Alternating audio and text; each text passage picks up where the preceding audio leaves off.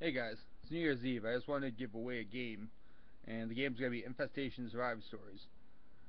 The game is, it's okay. It's not as bad as people make it out to be. It's, not, it's totally different than DayZ, which people are like, it's copying DayZ. It's not. It's very much more of an arcade game. They made lots of improvements to it, and I say check it out. But here, one of you gotta check it out for free. And I'll be giving out another game after midnight.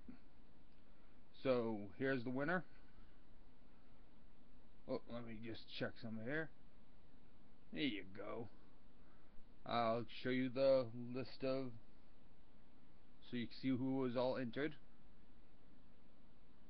Yep, I entered my name twice for New Year's uh, Eve as a special. So if I win, you guys get the next five people under me because the top of the list wins, and the next five people under me win a copy of the game. Just something fun I like to do, give back. Thank you very much for following me on Zoofin at Twitter and for um, promoting the Zoofin gaming tag. The site should be up tomorrow.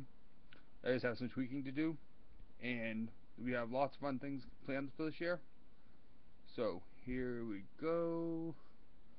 Let's see. Right, guys, and go.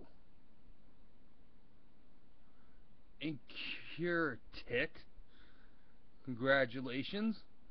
Yeah, I was gonna retire the Santa hat, but I was like New Year's Eve, close enough.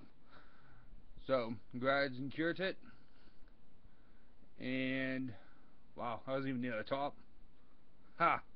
I guess to be cheap yet again. Uh, another game will be given out um, after midnight, so you'll see me then. Happy New Year's. Thank you very much for everything.